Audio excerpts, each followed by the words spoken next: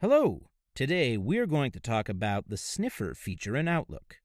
This is a feature that many of you might not be familiar with, but it is a really valuable tool when you're dealing with certain types of email messages. A common example of when Sniffer comes into play is when you send out a message that includes voting buttons when you're taking a poll for some reason.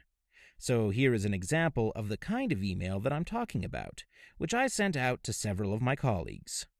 Now, when we access the message, we can see that we've received responses to our voting poll. This is a great way to quickly get a consensus opinion on something that might require input from several different people. This is the same technology at work that processes delivery and read receipts, meeting invites and updates, and more. Now I'm going to show you where to enable or disable Sniffer so you understand how to control it. Head to the File menu first of all, then select Options. From here, head to the Mail option and scroll down until you find the Tracking section. This is where you will see the option Automatically process meeting requests and responses to meeting requests and polls. If this is checked, Sniffer will automatically do its job for you. If you uncheck this box, though, you will have to manually track this kind of information instead, a much more time consuming process. Hopefully, you found this helpful.